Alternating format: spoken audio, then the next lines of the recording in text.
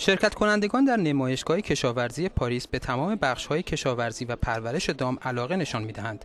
یکی از موضوعات مورد توجه آنها سلامت مواد غذایی مانند شیر، پنیر و گوشت است.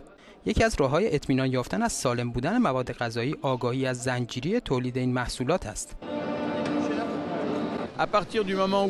از وقتی که به این گوشت ها برچسب زده می شود به ویژه برچسب های جدید گوشت فرانسه مجموعی از کنترل های گوناگون صورت می گیرد اولین کنترل کنترل کیفیت است. به این معنی که چگونه پرورش دهندگان دامهایشان را پرورش دادند و چه فرایندی در کشتارگاه ها طی شده است.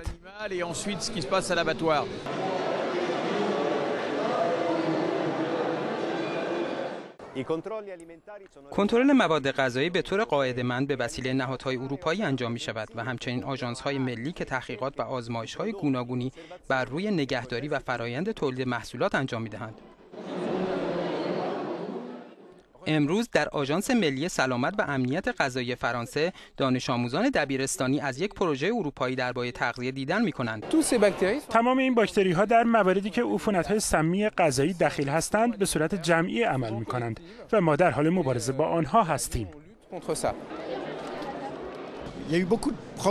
با اجرای مقررات جدید غذایی پیشرفت‌های زیادی در مقیاس اروپایی صورت گرفته و ما را از همه مراحل از ابتدا تا سطح تولید محصولات در زنجیره غذایی مطمئن می کند. مجموعی از طرحهایی را برای کنترل خطرات ناشی از آلودگی ها داریم. در حال حاضر کاهش قابل توجهی در میزان مسمومیت غذایی را شاهدیم. حوادثی چون شیوع بیماری جنون گاوی باعث شد مقررات سختگیرانه تری برای مراقبت های بهداشتی اعمال شود.